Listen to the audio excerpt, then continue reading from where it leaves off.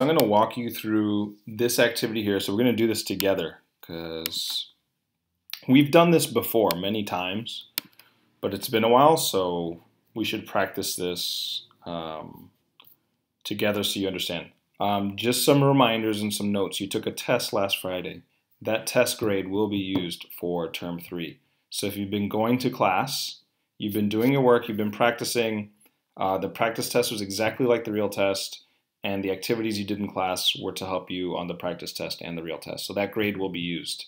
Um, if you're skipping class, then what's probably going to happen is you miss something in class, you don't understand it. Because you missed class, now you're going to do worse on the test, and now your grade is going to suffer. So understand your responsibilities, and your responsibility is to be in class. Uh, and to be in class means you're going to be successful in my class. And if you skip class now, I can tell you you increase your chance of seeing me again next year because you will probably be in my class again next year uh, if you don't pass my class. Um, let's go ahead and do this activity together. Um, we have practice calculations for physics. Uh, the goal here is for you to do these calculations uh, on your own independently on an exam. We will do this together today, and then tomorrow I'll give you another activity where you can try to do more calculations on your own. Okay, and then on Thursday you'll have a practice test and then on Friday, you'll have a real test, which is very similar to the activities you're doing today and tomorrow. Okay, so the first thing I need you to do is identify the, the formulas that you're working with. Here we have speed, distance, and time. So this is a speed uh, or a velocity uh, equation. Velocity. Um, here we have acceleration, velocity, and time. So if we're looking at those three things, so we did this, so that's done. Um, this one here, acceleration, velocity, and time, that's the acceleration equation. Acceleration.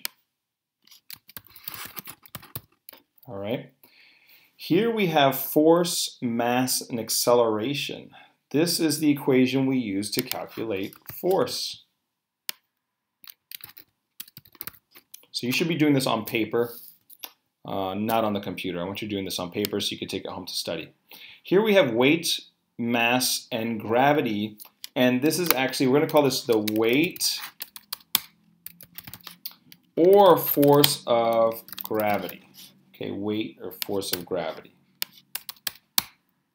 I'm going to make this a little bit smaller so it fits on one line. Okay.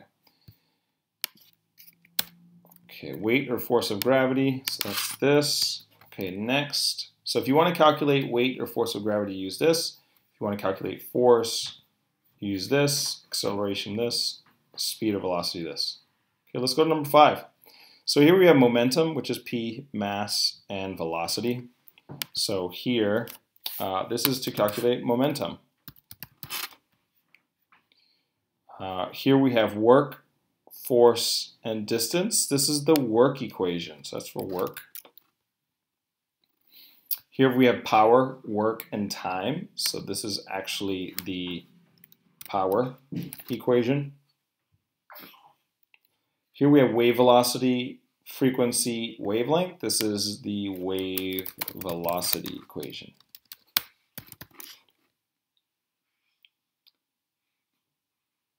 Here we have frequency and period. So this is the frequency um, equation, you could also call it the period equation. So frequency or period. Let me get rid of some of these so it fits on one line. And number 10, this is kinetic energy. So it's kinetic energy, mass, and velocity. This is kinetic energy. And 11, this is the equation or the formula for potential energy. Okay, and those are the different equations that you're going to use. Okay, you can pause the video now so you can write it down, uh, but I'm going to go to the next section. Okay, so here what you have to do is identify what you need to calculate. So how much work did the student complete? Oh, well, I need to calculate work. Work. Determine the force applied to the box. Oh, I need to calculate force. Call from. Okay, so now here, what was the final velocity of the plane? So I need to calculate here final velocity. Okay, determine the maximum potential energy of the box. Okay, here I need to calculate potential energy. So potential energy. What is the kinetic energy of the car? So here I need to calculate kinetic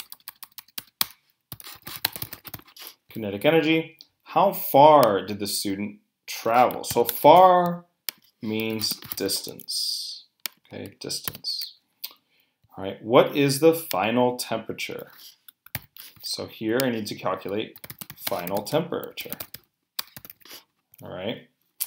Calculate the acceleration. Okay, I need to calculate acceleration here. Okay. Determine the amount of work completed. Here I need to calculate work. How much power was accomplished? Okay, here I need to calculate power. What is the final momentum of object X? So here I need to calculate momentum. Okay. And for this one here, how much energy is required to lift the box? So here I need to calculate energy. That would actually be a difficult calculation to do. Okay, you can pause it here if you need to finish writing these down. And now I'm going to go ahead to the next one, 24 through 35. Perfect. Determine the force of gravity on the planet Mars. So force of gravity. What is the change in height uh, of the uh, needed to have a potential energy of 30 joules? Determine the frequency, right, of the wave. Calculate the height of the object with the most potential energy. What is the momentum before the collision? Uh, let's see. See, what is the initial temperature?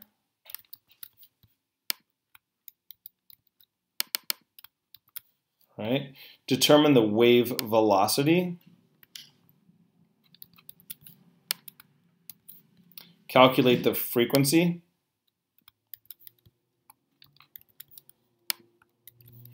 determine the period of the wave. So this should be automatic. At this point, you should be able to read it and then understand exactly what you need to calculate because you recognize the vocabulary that we studied. Uh, what is the kinetic energy of the cart as it rolls down the hill? Determine the work.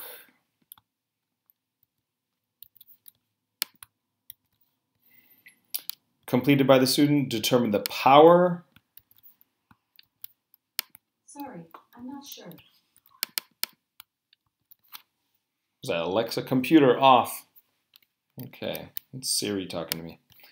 Okay, 35. Now 36. This is where we do some calculations, okay?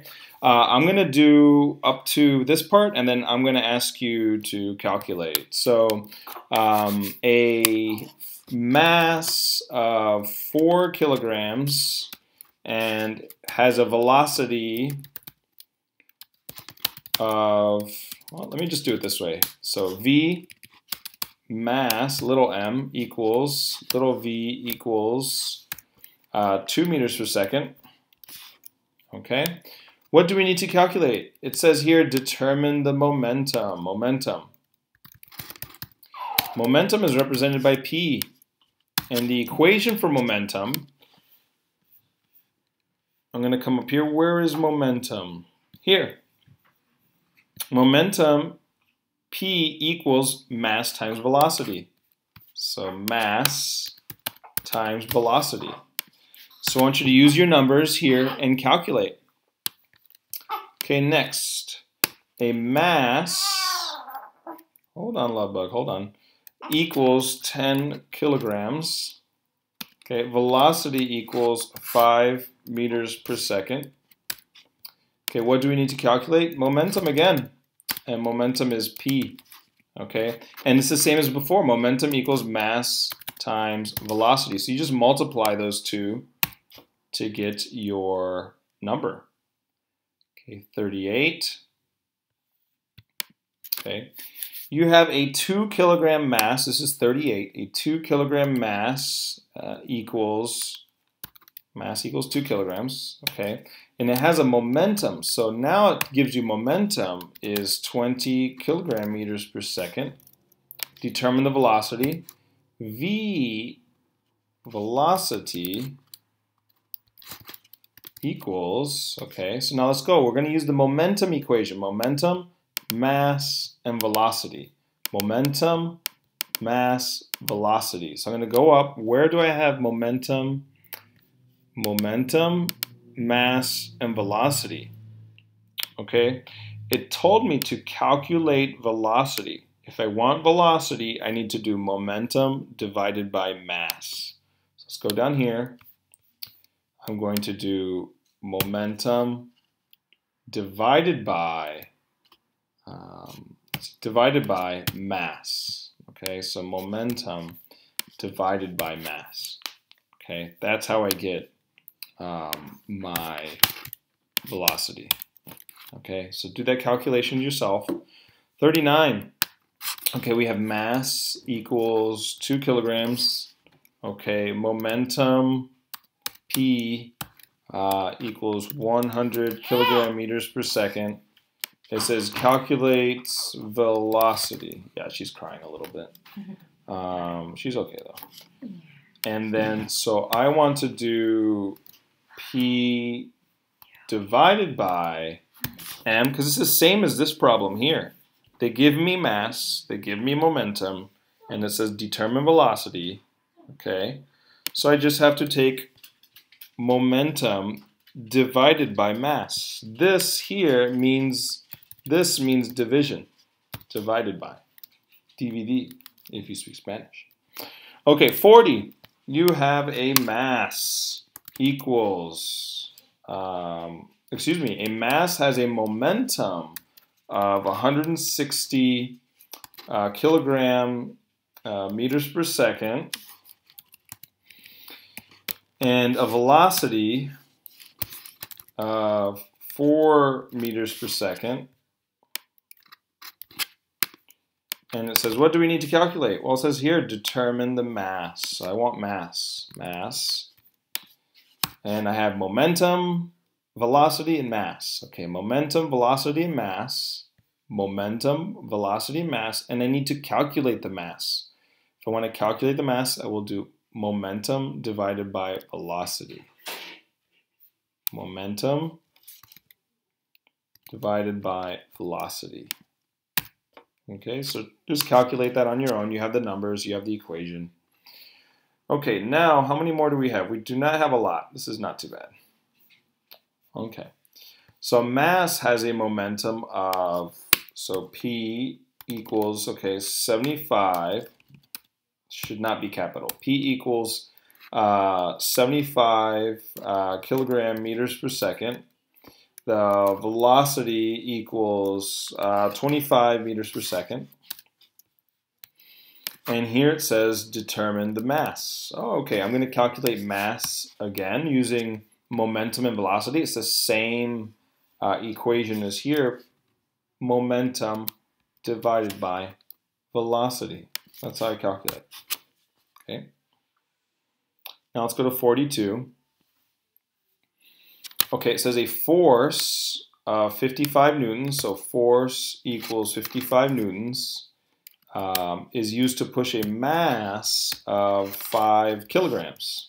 Okay, what do we need to calculate? We need to calculate acceleration. It says here, determine the acceleration. So equals, okay, let's go figure out. We have force, we have mass, we have acceleration. We have up here force, mass, and acceleration. We're going to use the force equation here. Force, mass, acceleration. It asks me to calculate acceleration. So if I want acceleration, I do force divided by mass. Force, force divided by mass.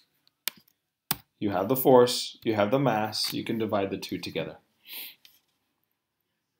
Okay, 43. A student lifts an object with a weight of 20 newtons. So the weight, um, let's call it weight, is 20 newtons.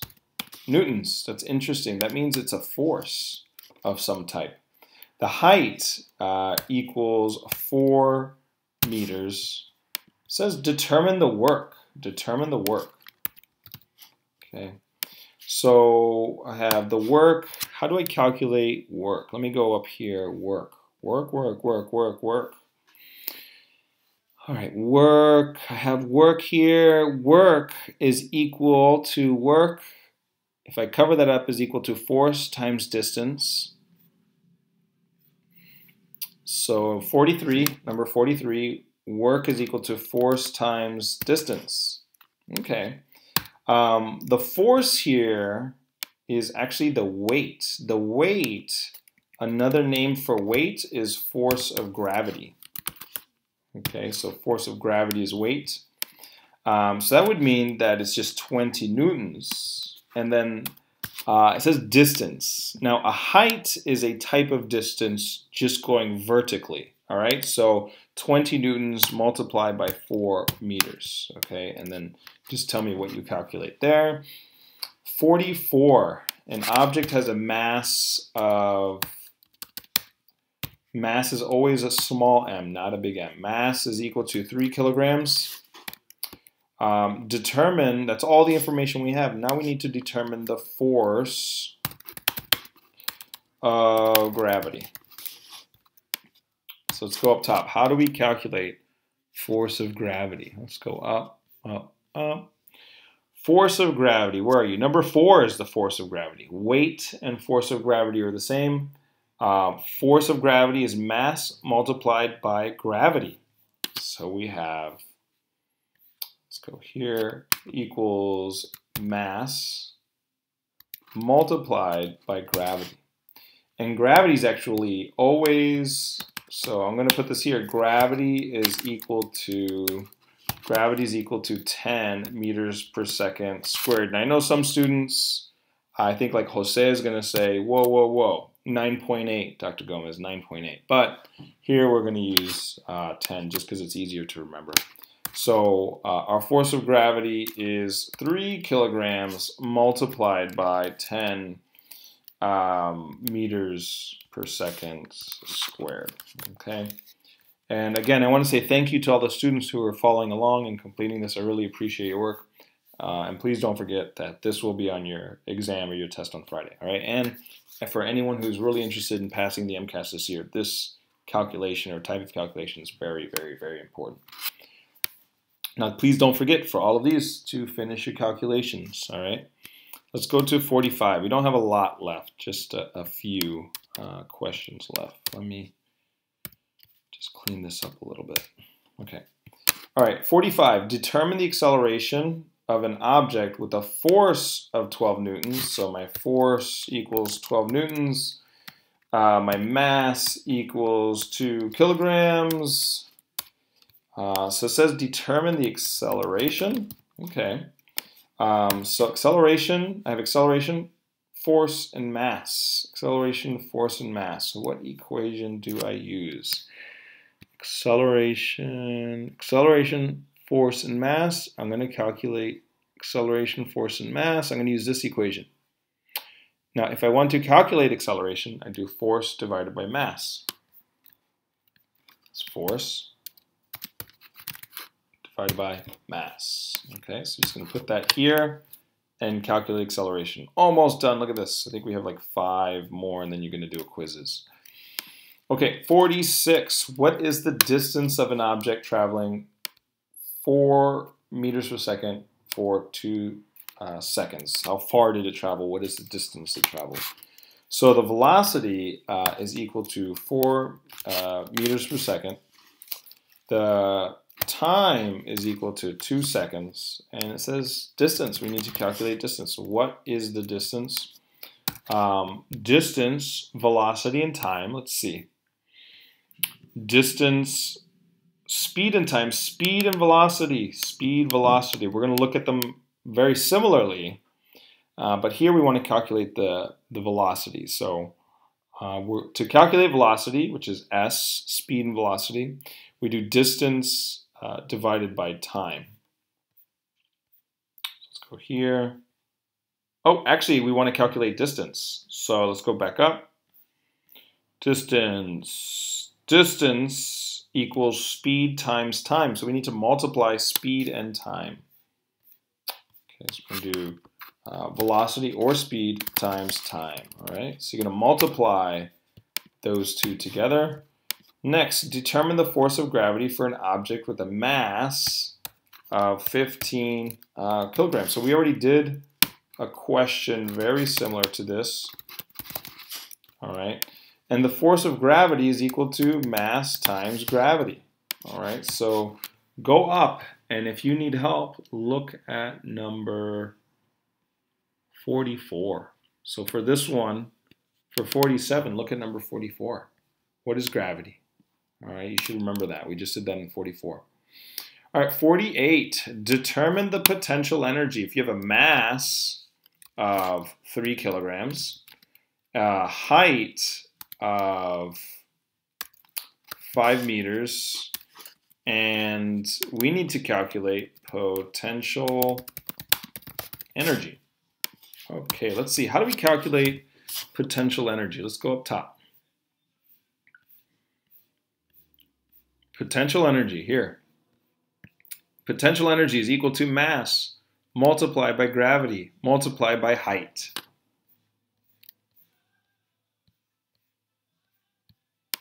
Equals mass multiplied by gravity multiplied by height. Okay. And don't forget, gravity is equal to what? Okay. And it's equal to 10 uh, meters per second uh, squared. Okay. So use that here, but you also actually should have used that. You should have used that in number 47 as well. Okay, so let's go 49 and 50, and then we'll do the quizzes. Okay. Um, determine the kinetic energy of an object with a mass of 2 kilograms and a velocity of 2 meters per second. So the mass is 2 kilograms. The velocity is 2 meters per second. It says determine kinetic uh, energy. Okay.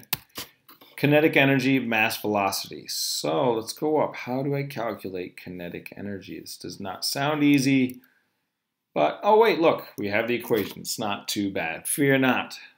Don't don't go crazy on this. Doesn't look it looks crazy, but it's not too bad. If we want kinetic energy, we multiply 1 half times mass times velocity squared.